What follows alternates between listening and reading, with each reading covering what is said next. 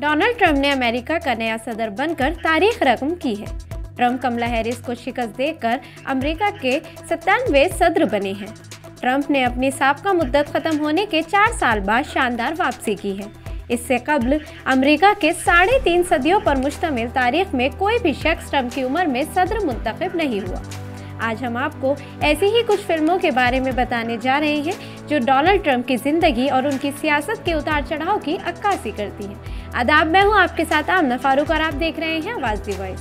उन्नीस में बनाई जाने वाली दस्तावेजी film Trump what's the deal में ट्रंप की कारोबारी ज़िंदगी को दिखाया गया है।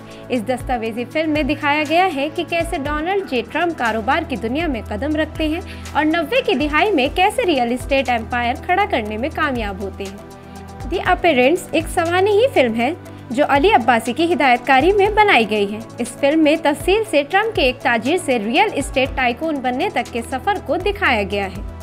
जेम्स फिल्चर की हिदायतकारी में बनने वाली दस्तावेजी फ़िल्म दी एक्सीडेंटल प्रेसिडेंट में ट्रंप की 2016 के सदारती इंतबात में फतेह के इसबाब अवामिल को दिखाया गया है।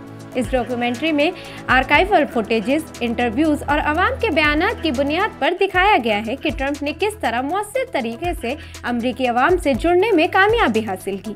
इस दस्तावेजी फ़िल्म में दिखाया गया है कि कौन से अवामिल किस तरह डोनाल्ड ट्रंप की गैर मुतव जीत का बायस बने।